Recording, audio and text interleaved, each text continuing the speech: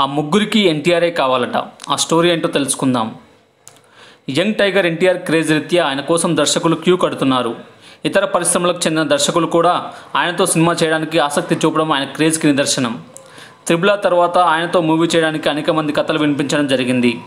ముఖ్యంగా Tamil young director Atlee KGF fame Prashanth Neel గట్టిగా ప్రయత్నించారు. ఎన్టీఆర్కి అత్యంత సన్నిహితుడైన అశ్విని దత్ అట్లీ ఎన్టీఆర్ కాంబినేషన్లో మూవీ కోసం గట్టిగా ప్రయత్నిస్తున్నారు. అలాగే మైత్రి మూవీ మేకర్స్ ప్రశాంత్ నీల్ మరియు ఎన్టీఆర్ కాంబినేషన్లో మూవీ చేయాలని ఉవ్విలురుతున్నారు. వీరిద్దరితో పాటు బాలీవుడ్ అగ్రదర్శకుడు సంజయ్ లీలా బన్సాలి పేరు కూడా తెరపైకి వచ్చింది.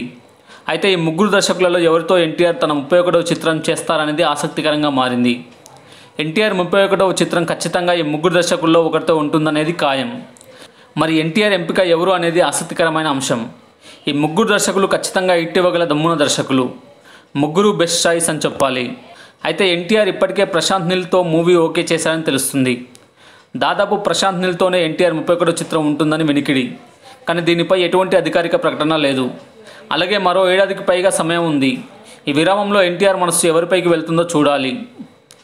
అయితే ఈ ముగ్గురు దర్శకులతోనే ఎన్టీఆర్ భారీ పాన్ ఇండియా చిత్రం ఉంటుందట. Thanks for watching and please subscribe our YouTube channel plus TV thank you